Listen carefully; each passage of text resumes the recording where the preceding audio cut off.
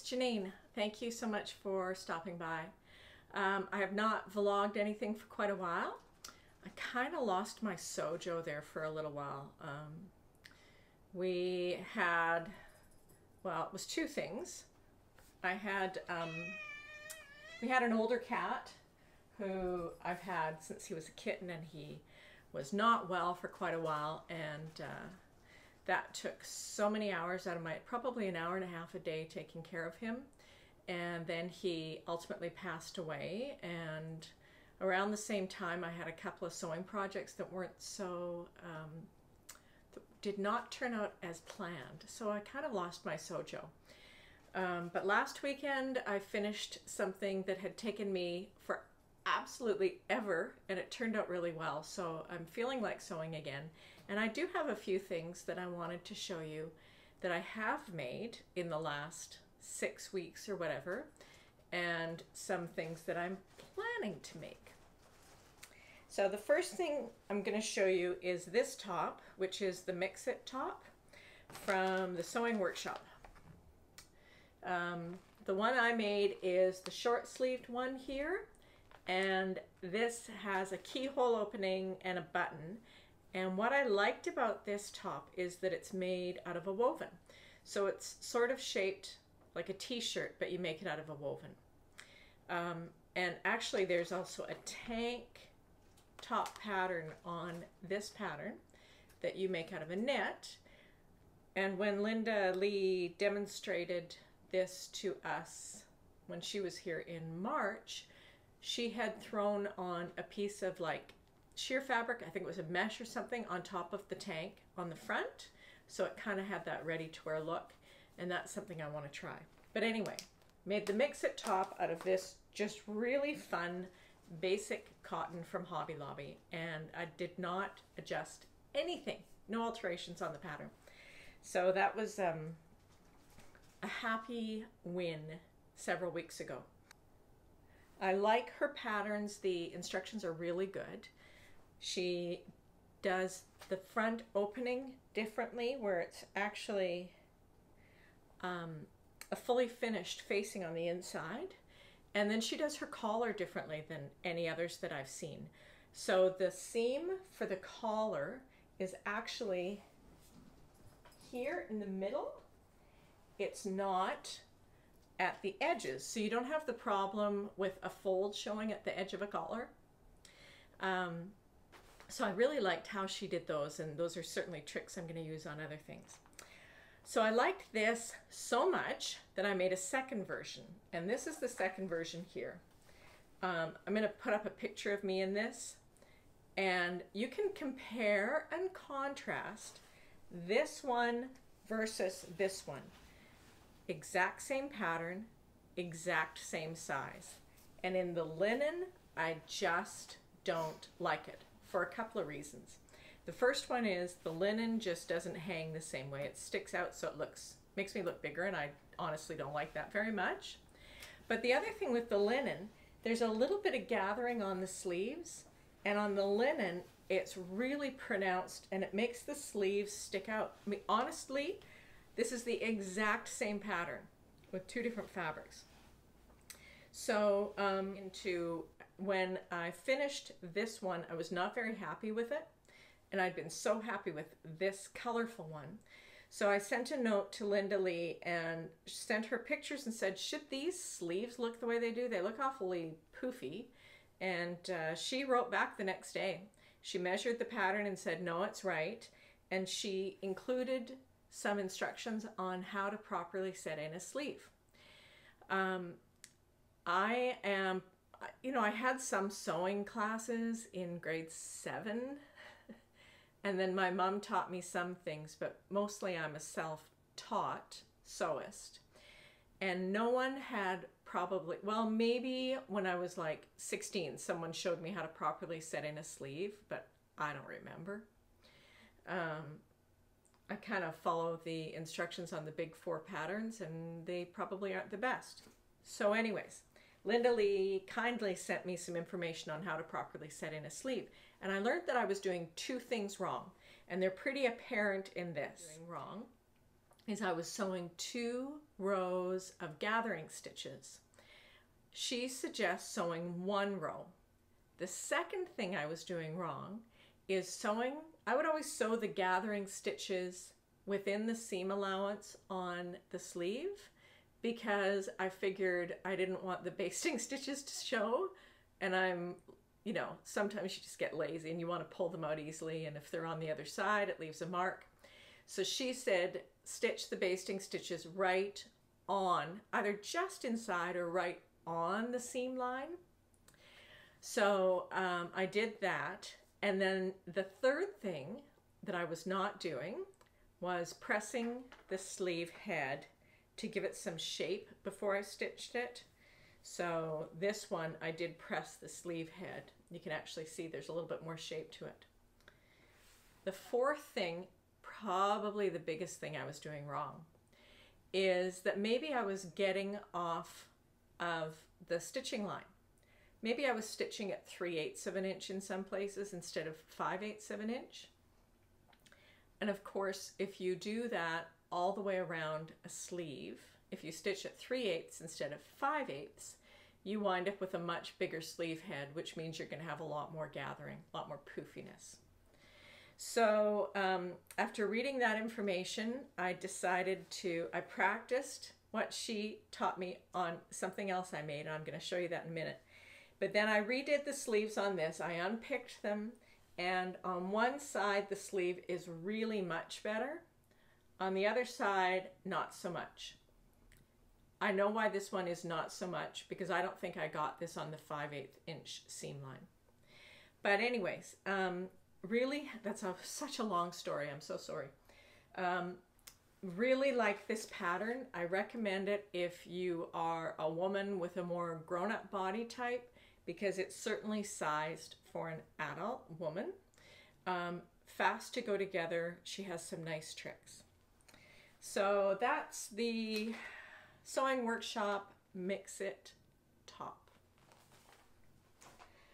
Um, I have three other things I want to show you that I made, and I'm going to show them on the side, whichever side it works out best. In March, I think, I picked up some fabric at uh, fabric martfabrics.com and um, one was a stretch woven that I bought for a skirt. Look at this. She's just looking at me and loving me. Um, stretch woven that I bought for a skirt. And I did not have much luck finding a skirt pattern. So I went back to the flyer from Fabric Mart Fabrics and I picked up the pattern they recommended, which is Pamela's Patterns Magic Pencil Skirt. So this is two pieces of pattern that are exactly the same. But she gives you some really good hints on how to shape the skirt. You start out with two basted darts front and back, and then you can move them, make them deeper, remove them. And then there's just a very simple fold over top with the uh, top waistband with the elastic on it. And uh, I wound up with a skirt. I cut a medium. Oh my God. I gotta love it just because I cut a medium. Um, I wound up with a skirt where I did not put darts in the front because I have a belly, but I did put darts in the back.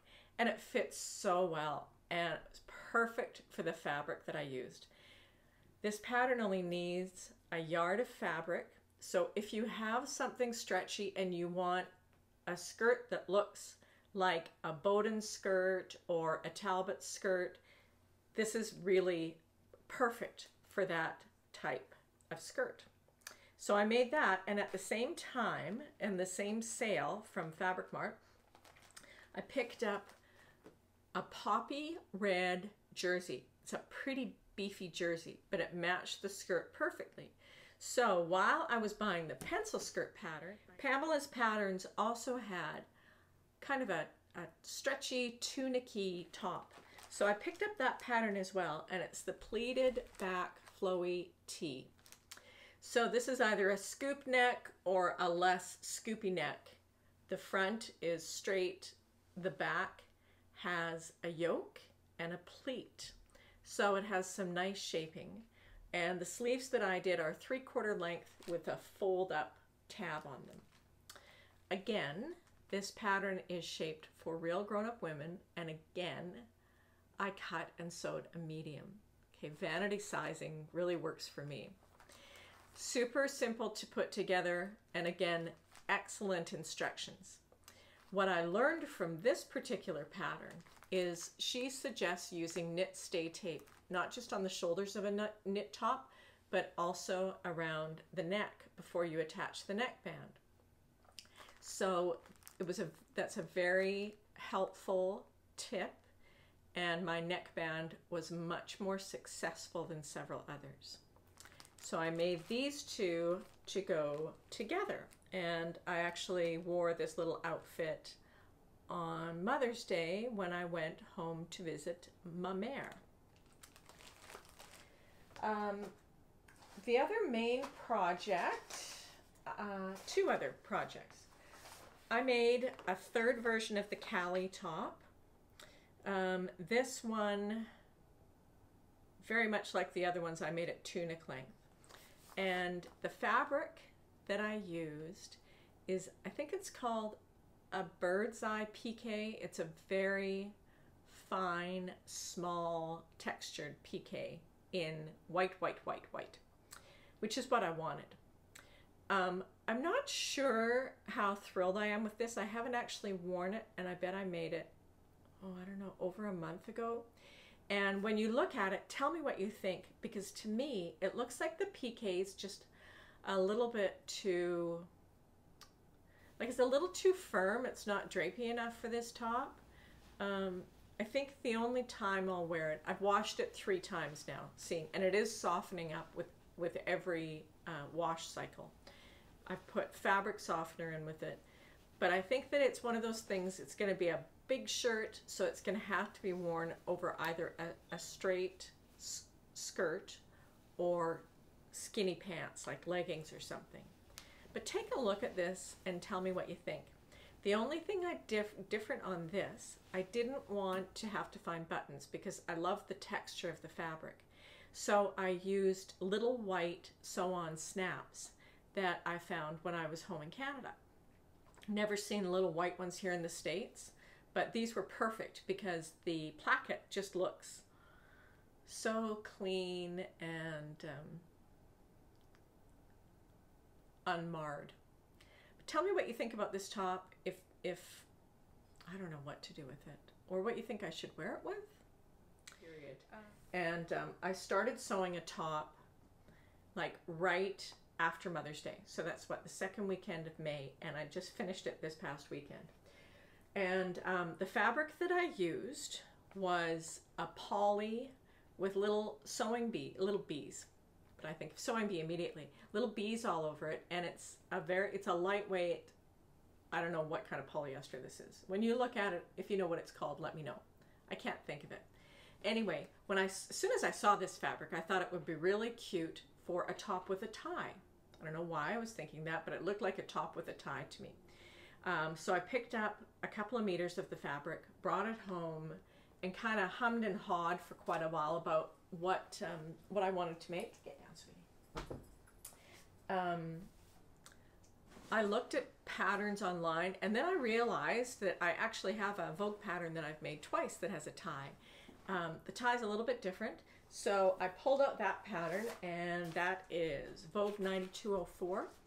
Um, I have made this version and I've blogged about it um, twice. The first time I made it in a really nice cotton jersey that I got from Elliot Berman Fabrics.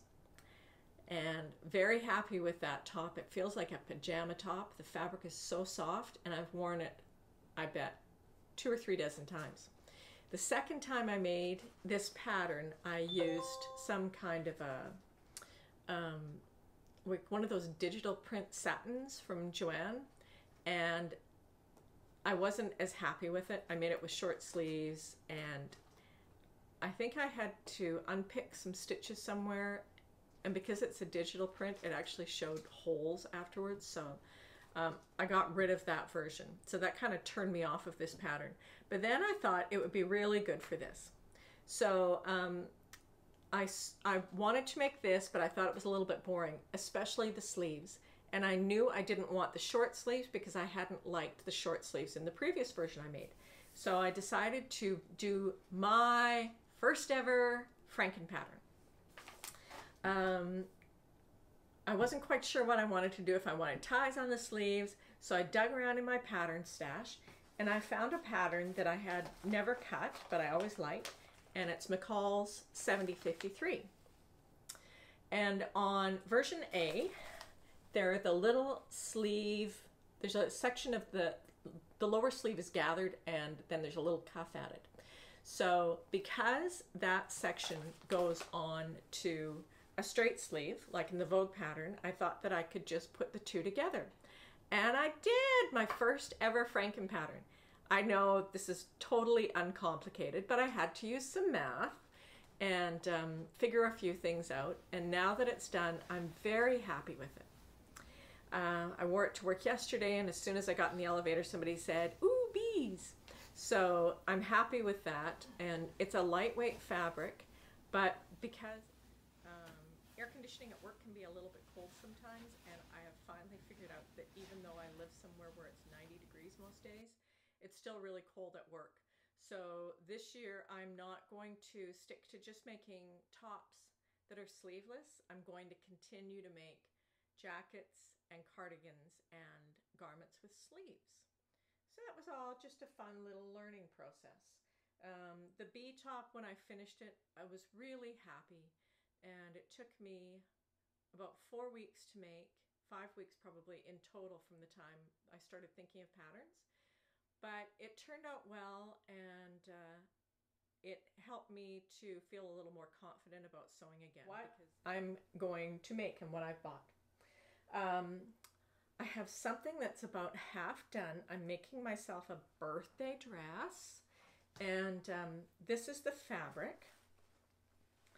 This is a kind of a Pucci-esque print. This is a knit and it's got a little bit of texture. Um, the outside has a tiny bit of texture where the wrong side is just a little bit more smooth. You can see there's really a strong line of the knit. Um, very drapey. When I bought this last summer, and I bought this at Olga's Fabricland in Calgary, when I bought this last summer, I thought I'd make a tunic, but then I was messing around with it on the mannequin many weeks ago. And I thought, maybe, you know what? I've got two full meters, maybe I can make a dress. So I decided to make a dress out of it, and the this is actually the dress. Um, right now, I am working on the neckband. So I just have to get my cover stitch sorted out. I stitched it once the other day and I unpicked them because I wasn't happy with it. Um, but it's just a straight sort of a-lined t-shirt dress. Simplicity 85.95.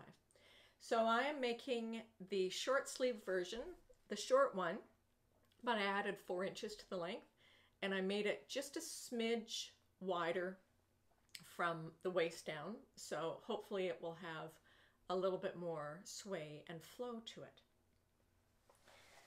This I may have done tonight. If not, I'll have it done for sure tomorrow night. Um, but um, this is just a fun summer dress. I wish I could find the fabric. It was Telio. I've tried doing a Google search on the picture and can't find it. But so that's what's being made immediately. Then I bought a second piece of fabric in Calgary at Fabricland when I bought the bee stuff. And it's this teal. This is a rayon and spandex knit. Um, nice, lightweight. I've washed it once. It didn't shrink, so I don't think I'm going to wash it again. Um, this is going to be another Pamela's Patterns pleated back flowy tee. The one thing I didn't like about the coral version or the poppy colored version that I made is that the fabric's a little bit heavy. So it doesn't float on the back where the pleat is. It kind of just hangs there and it gets caught on your booty. So I'm going to try making this in this lighter weight jersey, rayon jersey. Um, and I will make it with three quarter length sleeves because I'll be wearing it in air conditioning at work. Um, last week, Topstitch Atlanta had a free shipping sale, and I only live, I don't know, 12 miles from Topstitch, but this is Atlanta.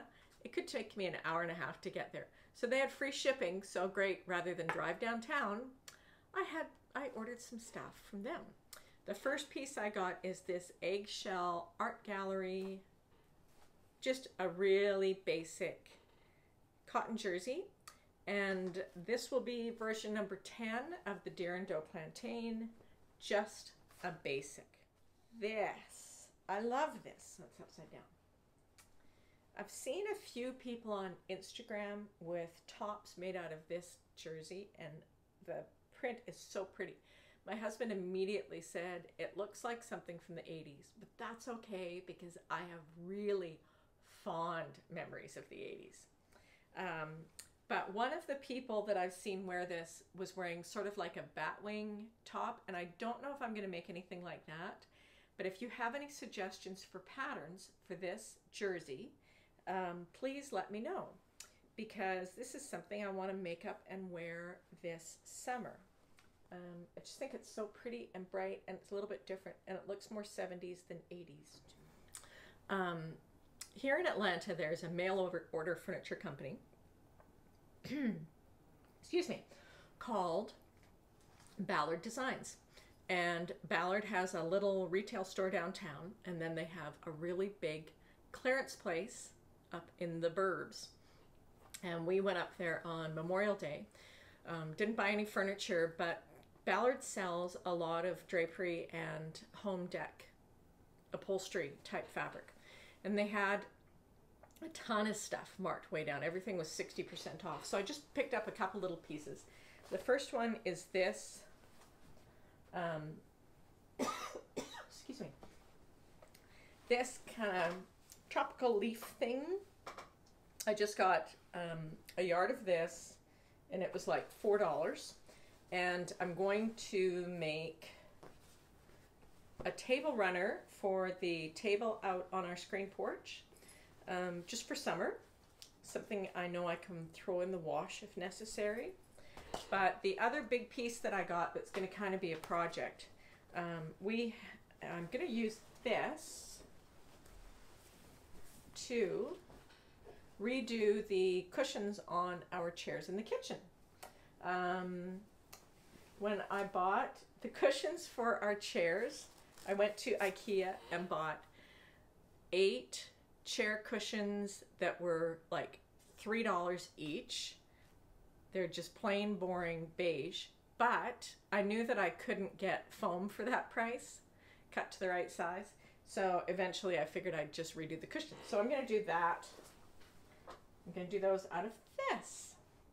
And I think that this will kind of hide stains, um, but this was only $4. No, sorry, $6 a yard. So um, I got three yards of that to do 10 cushions. That's still pretty cheap home dec. I can't believe that next weekend is the long weekend, both in Canada and the States. Um, on July 5th and 6th, my sewing guild is having an in-town sew-in. So that's like an in-town sewing bee daily retreats where you just take all your stuff down and sew. We all get together. And I'm looking forward to that. And I will get, I might just take the chair cushions or something like that and do those when I'm there because they're big, huge tables for cutting things out. Um, but I might wind up doing some garments. Uh, I'm very pleased to be enjoying sewing again. And she and I miss our other little friend, but um, life is getting back to normal, and I will be. I've got um, at least one blog post that I'm doing, just have to take pictures, but I will be posting more videos here on YouTube. Thanks for watching and stopping by, and as always, please comment if you see anything, have ideas. I'll see you really soon.